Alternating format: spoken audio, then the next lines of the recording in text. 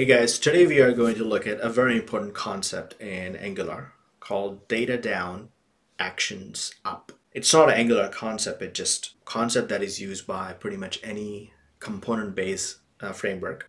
So what is a data down, action up really means? When you have a hierarchy of components, a higher level component needs to uh, communicate with lower level component and vice versa. So the way it works is higher level components would pass data down via property. And lower level components would pass the action up using the event emitters.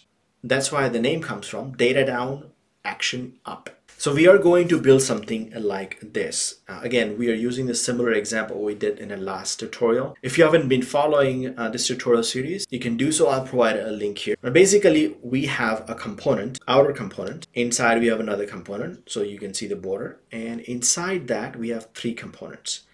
And from the outer, we have data. Remember, data is usually at the high level component, you know, your model or whatever. It's not available to the buttons or things like that. You have to pass it from the top, hence the data down uh, using properties. But let's say if I click on this button here, one of these buttons here, it needs to do something on the top with the data or something. So it has to send the action up.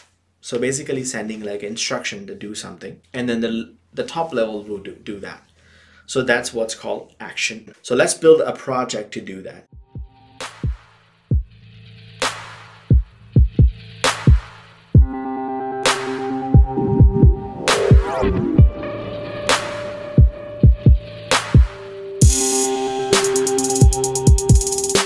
All right, so I already have built uh, this project, which is empty at this moment, and name the project is ng4 data down action up. And I will upload this project, uh, the Git, my GitHub. I can add our first container, either the one I showed you, the outer one. So on one side, I would just run the project. So I can say ng serve dash dash open, and that should compile the project and open it into localhost. Okay, as you can see, there's nothing going on here. It's empty. it opens on a localhost 4200. Now from the other console, I can say ng g means generate, c means component, and I can create that main container. When I do that, it will create a folder called main container and it would create the four things inside CSS, HTML, its test and its TS file. And it will also update the app module for us. It has added this main container and it has imported the module app module and it has also have a declaration. So that will i'm interested in what is the tag name. So it gives a tag name called app main container. So what i'll do i'll copy this tag name and inside the main component.html i can use this tag. So I can inject my component inside here. And once I do that, it should automatically compile because the server is running. So let me quickly do this. So I created a one div and inside and inside I have a span which will say main container and I'll have some CSS. So the CSS is basically have some border and some padding. I will have the main container and have a border.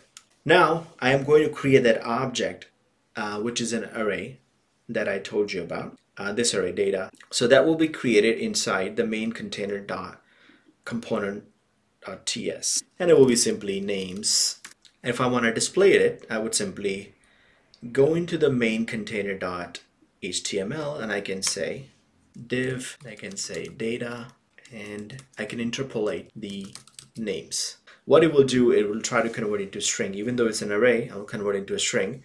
I would see this. So I, would, I know that what data I'm passing just to see. All right, so now we need to pass this array into a lower level component. Uh, so I'm going to create another component called outer. So I'm going to go back to my command line and I would just say nggc outer and I can say outer is already created. I can simply use outer here. I need to know what the tag is. So if I go back to the outer.ts, the tag is app outer put it in here let's see what happens all right so it added the outer so we also add the style quickly to the outer so we're gonna remove the the default stuff and say div and inside, which will say outer, inside the CSS, I can have uh, some border and some padding so it looks presentable. If I go back to my console, I have an outer ready. Now I need to pass this data into the outer. So you can you can pass data via property. So if I look at if I go into my main container, I have this outer tag. So I can pass into the outer the names array. And the way you would do it is name. So you would in a square bracket, you would name, you would put the variable that will be used inside. Uh, and then here as a string, it's not really a string, but here I'm going to use the same name so we can consistently look at it. But you can actually change the name here. You can say XYZ, doesn't matter. So inside the app outer, it would be XYZ, this array. And in inside the main container, it would be names but I want to keep it consistent. So now let's look at outer. So inside the outer, I can simply say div and names. When I save it, wow, it did not pass. And the reason is this. Inside the outer, I still need to do something. Just by passing the property, it doesn't automatically takes it. I really need to create something else. So I would have to say here, um, input. Here I have to have an input decorator and that should really work. So if I save this, now it actually passed this array inside from main container to outer. All right, now let's create an inner component, which would be inside the outer component. nggc inner. And it would do the same thing. It created an inner component now let's look at the tag for inner component. So the selector is app inner. So I can first simply copy. I have a habit of just doing it so that at least I know everything works before I modify it, right? So inside the outer, and if I copy and paste multiple times, I would see inner here, which it works. So which is great. Inner's default. So what we want is, again, uh, squares. Right, so let's create this inner monster.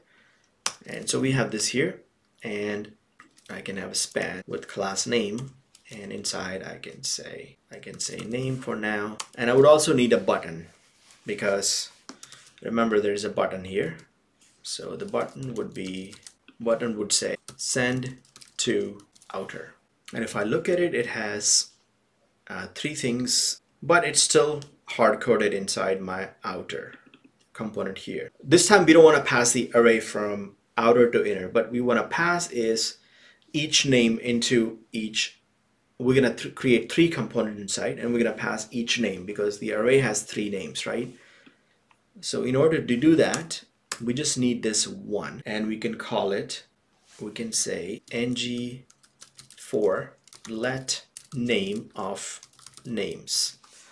What it would do is for each name it will create an, a variable call name and names is basically nothing but that array of names which I can directly pass into here. Again remember the passing of information or data would be because I have this name here so I can say equal to so for each of the item in the array it would create it will re repeat itself and create this but app inner doesn't have this property called name. So if I look at the inner, I would need to create that property here.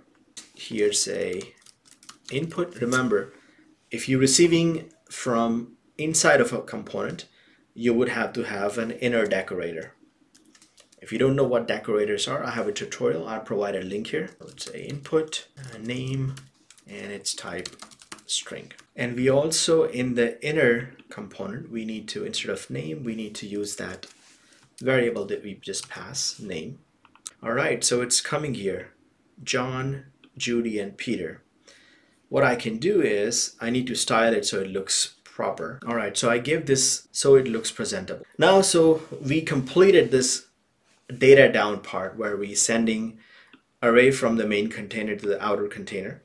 And then from the outer component to inside each of these um, as in each element. Now what I want to do is when I click on this button, send to outer, it should send this information out to the outer and then to the main component container. So it would, if I have a label here, um, like from inner, it should say John when I click here. It should say Judy when I click here, and it should say Peter when I click here. So how do you do that? So we need to start from the inside this component here, which is inner. We need to create a click here and the syntax is simple click equal to and we name the function that will execute we don't have the function yet we can say send to outer we need to build this function inside the inner component so we come back here and here we create this function called send to outer uh, console log clicked So let's see if it works. If I click here, it says click. If I click here, it says click. If I say click here, it sends a click. So it works. Now we need to create an event emitter. So for that, I would use uh, from Angular core, you can borrow event emitter. Here, you need to create an output. So when you're receiving property, you use input. And when you're sending action out, you need to create an output. So you would say output. We need to create, we need to borrow it from here. So you need to import output here. It calls, uh, we're gonna name this event emitter. So I can call it event from inner because it's coming from inner. So we're gonna call this and equal to new event emitter and its type string. So inside the inner component, we have now um, event emitter. Now we need to, when we click on the button, we need to execute this event emitter. So instead of click here, we can say this dot event from inner dot, we can say emit. And when it emits it, it would send some information from, uh, from the inner component and what would it send? So it would send the name because remember, when I click on here, I want the name to go out. So all I have to say is this dot name because that's what the name here, right? But there's something else is missing also. Just like when you pass a property from outside, we still need to pass an event emitter when it's going out. So a little bit more work. So in the outer component.html, because it's an action, it's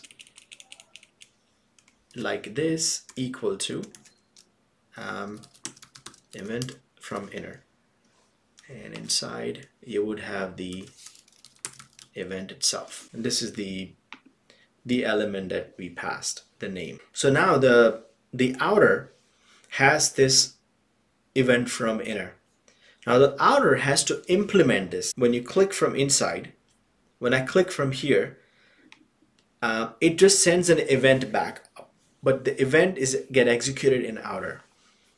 So in the outer dot ts, we need to exit. We need to have that event. So we can say event from inner, and you would have some variable passed, which is a string.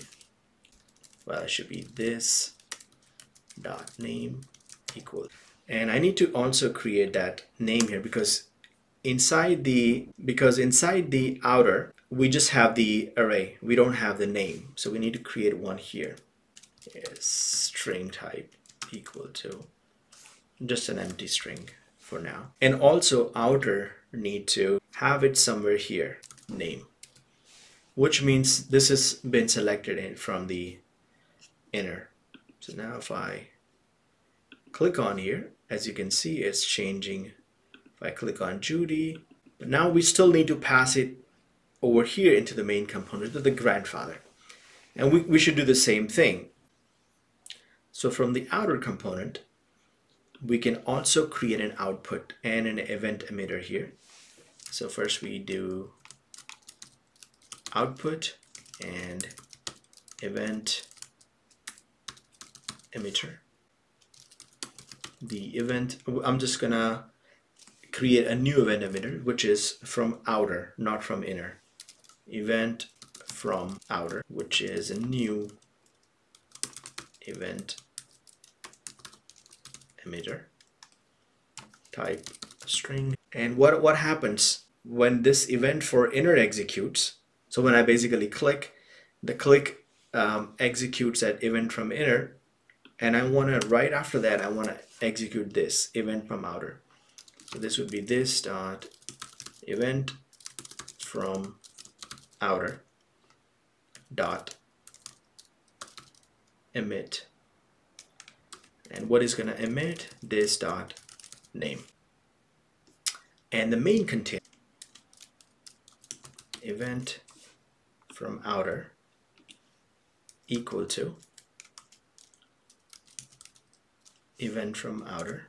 And inside you would have the dollar inside the main container TS I would have to execute it. Remember so when you send it from uh, an action from inner component to outer the outer component has a responsibility to execute it. So we created inside the outer component. Now the main container has a responsibility to execute it. So main container would say event from outer and it would have the similarly passed which is a string and it would say this dot name equal to past and now we can have in the main container we can have a div that has name in it so we can say selected and name. Ah, we also need to create that variable inside the name here. Because we have names but we don't have names. So we have to say name equal to an empty one. Otherwise it won't work. All right so now if I click here it passes here and here. Here and here. So it works.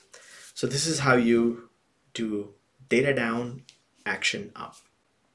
The example we learned today, I'm going to push it onto Git and I'll, I'll put the URL into in the description so you can copy it and download the example and work with it. And I hope you have learned something from this tutorial. And if you did, please like, subscribe, and provide a constructive comment.